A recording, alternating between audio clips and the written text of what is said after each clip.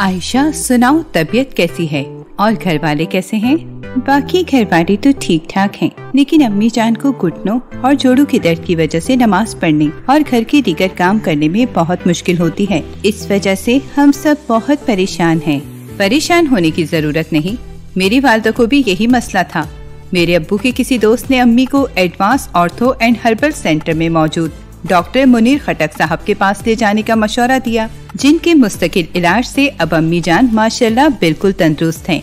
इसीलिए आप भी खाला जान को advance ortho and herbal centre पर ले जाएँ।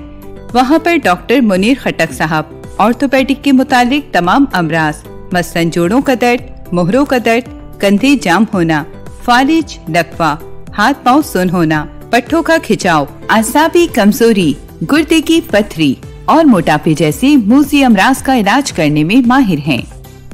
बहुत शुक्रिया मैं आज ही अम्मी जान को advance ortho and herbal centre का बताती हूँ